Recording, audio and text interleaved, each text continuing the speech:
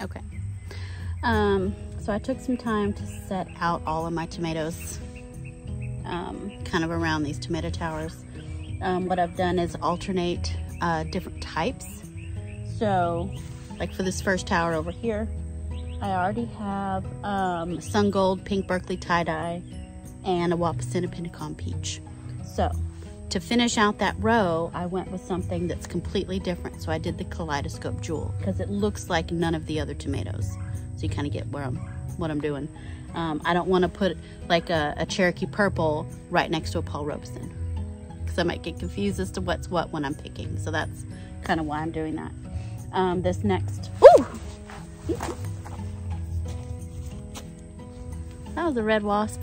So did I, is it on me? Did I get, okay, am I okay? Am I fine? Anyway, okay. Ooh, reflexes, tiger. Um, I feel like it's like in my shirt. I feel like it's on me. Okay, this next tower here. Um, oh, also, I don't have enough room to, to plant more tomatoes. Um, I've got two vintage wine over there that I have no idea what to do with. The rest I have spread throughout the potager. So the tomato towers do not hold all of my tomatoes because I'm growing too many varieties. And the new ones that I just got in my seed halls the full size ones, not the micros, the dwarfs and the micros, I have pots for those. But for the full size ones, I can't start any more seeds right now and that makes me sad. I'm tomatoed out because I'm out of tall structures to put them on because the structures that I have left, that's for um, climbing squashes, it's for cucumbers, it's for melons, watermelons, cantaloupe melons, all the melons, all the cucumbers, pickling cucumbers, big long Armenian cucumbers, all the things. Beans, like Kentucky pole beans, all pole bean, rattlesnake pole beans, they need things to climb on. Also, I have spinaches out here. I have Malabar spinach and I have the New Zealand spinach and I think I'm gonna plant those in with the tomatoes so that they can wind up. And at least that leaf, I know what that is. And they're small enough maybe Anyway, I'm gonna go get my spinaches. Let me show you those real quick. Okay, so I brought this tray out from my office today and I'm so excited about these seedlings. I'm gonna tell you what, this Malabar spinach is beautiful. It's thick and beautiful. That is thick with two C's. It is thick. Now, this is a Malabar spinach. Look at the red stems. Look how beautiful that is. This did so well growing in my office. So well. I don't know if I can pull one out. Here we go. There's the Malabar spinach. I know, I've been wanting to get it out here for a while because uh, it's starting to vine some of them. And then this other one, this New Zealand spinach, here is also doing really well. This is artichoke. I got, how many artichoke did I get? I think three. I got three artichoke. Those will get planted out. And then my milkweed, my red or swamp milkweed, I actually got three really good ones. Look at that one. That's my milkweed. This has been in my office. Um, anyway, so let me get the tomatoes and the spinach. I think I'll do the Malabar spinach up these towers and maybe a couple of the New Zealand spinach and then I'll do the rest of the, the New Zealand spinach on the wagon arch. Yeah. Okay. All right, let's, let's see if I can do this before it gets dark. okay.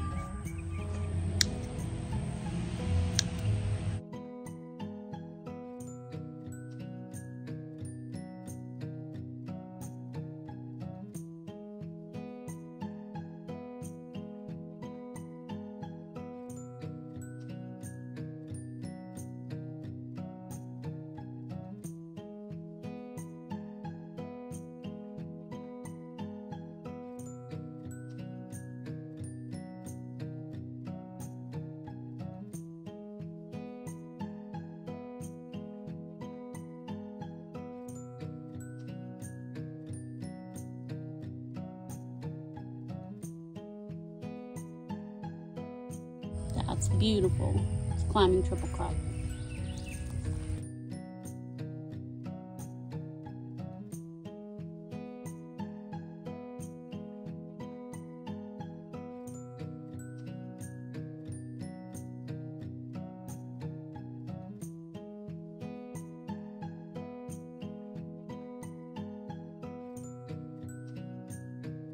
Okay. I've done all the tomatoes I'm gonna do today. I think my face is bright red. I think I'm burnt. I'm gonna go in. I'm gonna go in the house. And we're gonna do this tomorrow in the rain if we have to. And I will be wearing the same clothes. Yeah, no sense in dirtying up another outfit. I Have to go get an umbrella. It's raining. Um, so while it's raining, I'm gonna do a little prep. Uh, getting some tags made and getting some things cleaned up. And then I'll come back to you when it stops raining because I don't want to ruin my phone in this rain. I went ahead and got started planting some things just because the rain was taking a little too long and I didn't want to um, let the day get away from me like yesterday. So this is uh, my wooden trellis here with my uh, Catskill Brussels sprouts. Um, on this corner here, I'm gonna plant two Lily Asari tomatoes. Um, this is a smaller one I put in the ground right here. Um, and then I have a much, much bigger one that's gonna go on this other side right here. So just putting those in the ground real quick. And I kind of wanted to have these documented on camera in case the uh, tags fade, which they will. This is an ox heart. And then here is a Lily Asari. And then I have a pink Berkeley tie-dye to go on that other side. All right, last one, pink Berkeley tie-dye. Um, also, when I was planting this Lily Asari, um, it's blooming. It's got a big old bloom on there. So I think um, after I plant all these tomatoes today, before I go in, I will um, go around with my electric toothbrush and go ahead and take care of all the flowers just to ensure germination because we're gonna have tomatoes like I think before the 1st of May. That's so exciting. Actually, the cherry falls that's, that's already got little cherries on it, I mean, that'll probably be, what, in a couple weeks? So fun. Okay, so this is the last one I'm doing over here.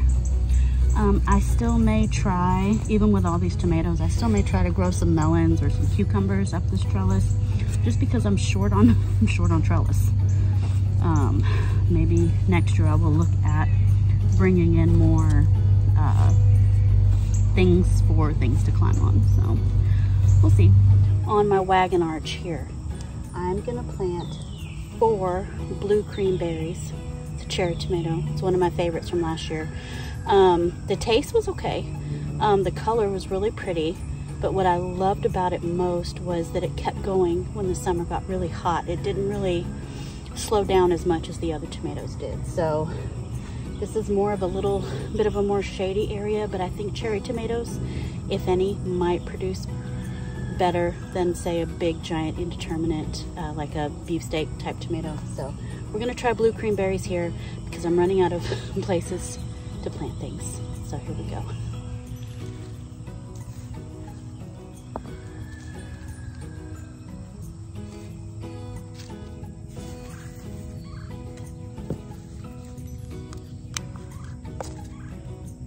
Oh, those roots turn purple. Why? That's weird. That's really weird. Huh. If you know why that did that, let me know. Even the the plant itself is a little purple, but I would not have expected the roots to be. Interesting.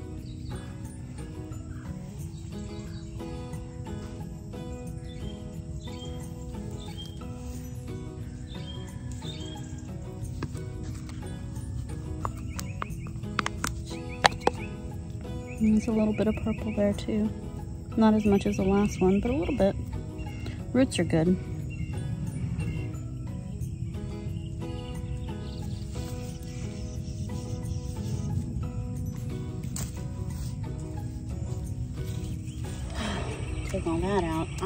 Plant my Baja Ha micro dwarf.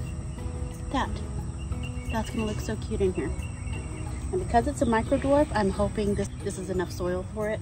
Now this Baja Ha micro seed was planted January 14th and it already has flowers. Oh yeah, those are good roots. Really good roots.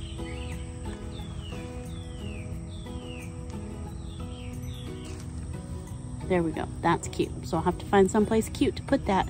But for right now, I'm just going to set it anywhere. so next is Ola Polka.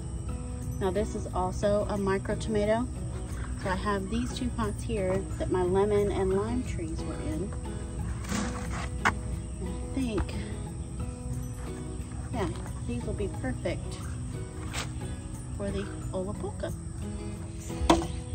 So, nice roots, very nice.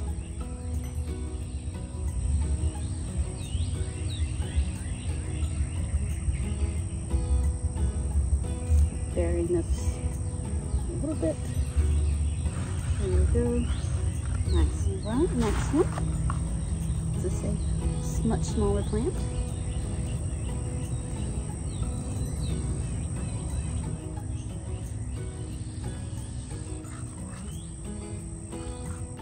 There we go. And I have a place for them over here by my tomato towers. So let's place them.